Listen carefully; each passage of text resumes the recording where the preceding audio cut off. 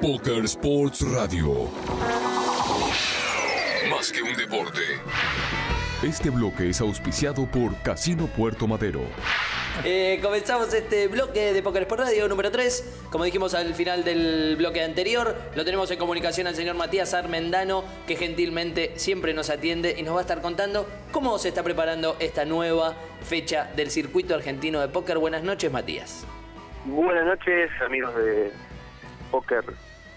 Hola. Es por radio. Claro, faltaba, claro, te estábamos No, esperando no, que disculpen, cerrara. Disculpen, pensé que se había cortado, por eso frené.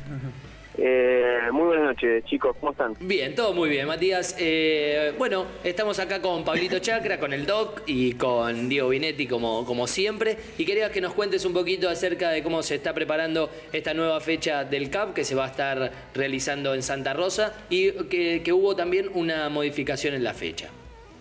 Eh, sí, sí, muy buenas noches, Pablo. La verdad que quiero hacer un, un, un cortito saludo Sí, claro, y claro felicitarte por el, por el triunfo en Rosario. Gracias, Mati. Eh, la verdad que más que merecido lo tenés.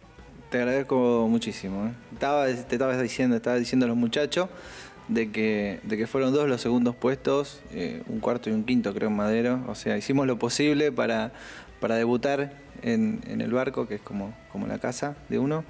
Y bueno, gracias a Dios vino en Rosario también, un lugar donde uno se siente muy bien. Pero bueno, llegó por fin. Bueno, Yo bueno te ahora, diría- viene, ahora viene mucho más triunfo. Te diría, Matías, que Eh. empieces a, a preparar algo porque yo creo que se va a venir en algún momento el Madera. Sí, señor. Esperemos que sea también en, en Santa Rosa, que nos estamos preparando para Bien. el eh, con el cambio de fecha del 16 al 18 de, de octubre. Eh, lamentablemente entre medio se metió un rally, pasa un rally por Santa Rosa Claro. y nos obligó a, a cambiar la fecha como para tener una mejor disponibilidad de hoteles de la calidad que, que los jugadores generalmente están acostumbrados a, a utilizar en, en- cada vez que viajan al interior a, a jugar. Y bueno, acá preparando todo, estuvimos la semana pasada en el, en el espléndido Poker Room que tiene eh, Rosario también preparando la fecha de ahí, pero volviendo a Santa Rosa eh, organizando lo que es clasificatorios y lo que es eh, hospedaje con vuelos y vacaciones, que nos presentó unos, unos paquetes muy interesantes para, para acceder. Santa Rosa está cerca, Ujú. 600 kilómetros de, de acá, en una ruta muy tranquila como la, la Ruta 5 para los que son de Buenos Aires. Está casi equidistante de, de muchos lados, Santa, eh, Neuquén, Rosario, Buenos Aires, Bahía, todo más o menos le queda cerca, Treleu. Eh, así que la verdad que, que esperando con mucha expectativa esta fecha, invitándolos obviamente a jugar los satélites en, en todas las sedes donde se han jugado. El domingo tuvimos un satélite inaugural en Treleu con muchísima expectativa, realmente nos fuimos muy satisfechos de... ¿Superó las de- expectativas que de tenían? sede. ¿Superó Y- las expectativas? ¿Cómo? ¿Superó las expectativas que tenían? Totalmente. Eh, sabíamos que hay, hay buena actividad de póker en Puerto Madryn y en la región, eh, pero bueno, la verdad que están todos muy enganchados a tal punto que suponemos que el 9 haremos un segundo satélite. Ah, bien. Eh, es el torneo debut como hicimos en, en San Rafael. Una de las cosas que el, que el circuito argentino de póker tenía como objetivo era ir desarrollando el póker en, la, en, en Casino Club y así lo logró con San Rafael, que también el miércoles tendremos otro satélite. Y Treleu abriendo para esta fase y vamos a llegar a Comodoro, Río Gallegos. eh, Bien, se, eh, se están extendiendo- Es básicamente el, el objetivo. se están extendiendo entonces por todo el país. Eh, Matías, buenas noches, ¿cómo te va? Diego Vinetti. Buenas noches, Dieguito. Muy bien, escúcheme, jefe, ¿me cuenta cómo, cómo se están preparando? ¿Va a haber algún transfer que lo va a llevar desde el casino a Santa Rosa como hicieron en Neuquén? ¿Hay Mira, alguna modalidad? La, la verdad que eso lo vamos a manejar en función de- del pedido de los jugadores, por lo que hemos tenido hasta el momento.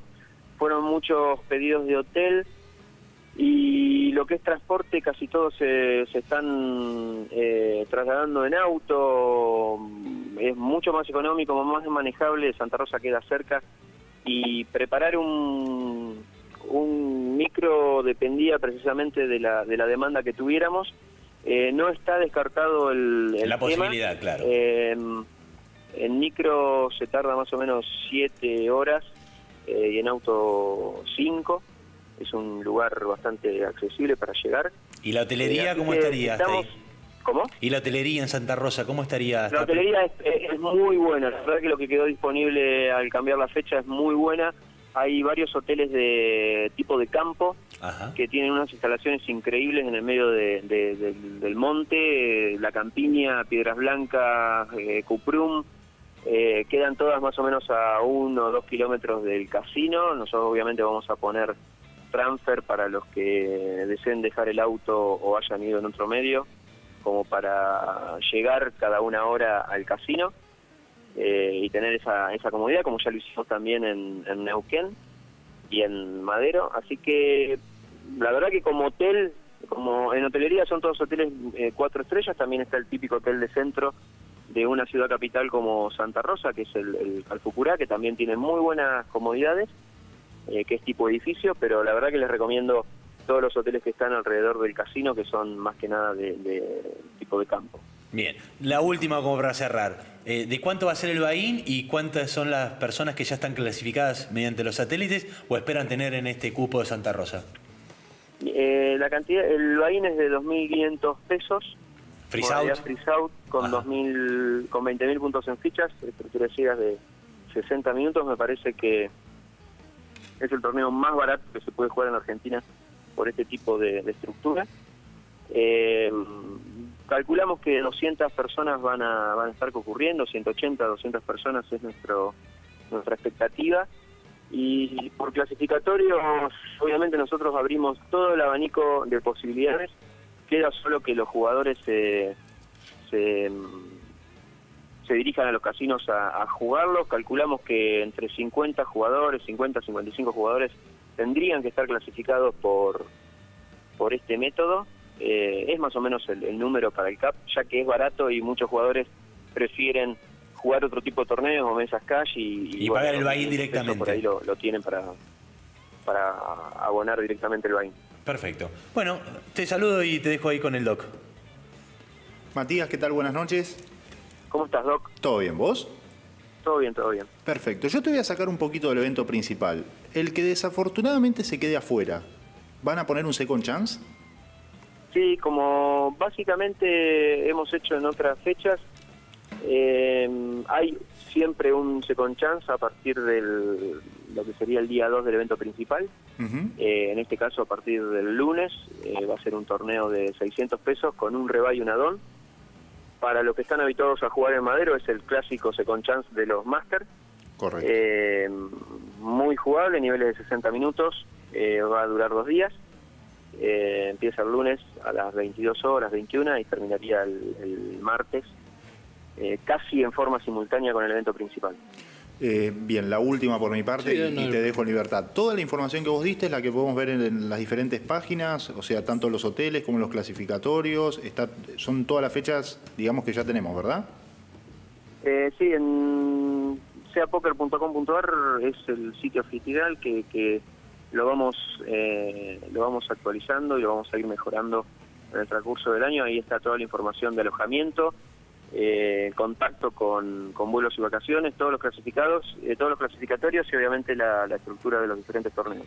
Perfecto. Te Muy- mando un abrazo. Bueno, Matías, gracias por la comunicación telefónica, completísima la información acerca de este circuito argentino de póker que esta vez ha llegado a Santa Rosa La Pampa. Nos estamos viendo seguramente en algún casino o bien el día en que se lleve a cabo este, esta fecha. Perfecto, Mago, saludos a todos. Ya parezco un cronista de... Nuestro Eh, enviado especial. Falta el sonido del helicóptero, nada más. Toco, toco, toco, toco atrás. Sí, sí. Ponete Así que, bueno, desde la unidad de exteriores, eh, les paso a ustedes. al estudio. Muchas gracias. Saludos a Pablo. Saludos, Mati. Gracias por todo. Bueno, así terminó nuestro cronista, el señor Matías Armendano. Eh, bueno, les recordamos que también es bueno, está el ranking del circuito argentino de póker. Quien va primero es el señor Elías Escándar y lo sigue Cristian Rotondo, ahí muy, bueno, casi mil puntos. Sí, Elías ganó el primero. Va primero por Escándarlo. Opa. Lo. Por Escándarlo. Eh, Eh, me gustaría, bueno, ya nos queda muy No, poquito tiempo metió, para este, metió este- campeón y después quinto. Claro. Va a estar difícil desbancarlo.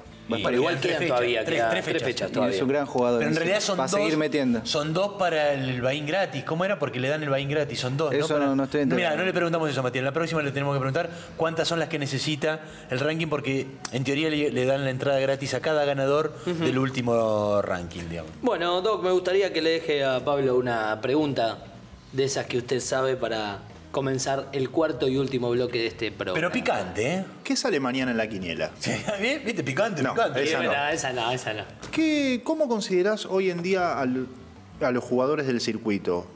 Hay muchas caras repetidas, hay caras nuevas, la gente viene de internet. ¿Vos notás cuando un jugador es de internet, cuando juega en vivo, lo notás en base a la agresividad? O sea, te la paso en limpio. Si yo soy jugador de internet, ¿tenés una estrategia diferente para enfrentarme que un jugador en vivo? Plin, plin, plin, plin. Vamos a la pausa. Poker Sports Radio. Más que un deporte,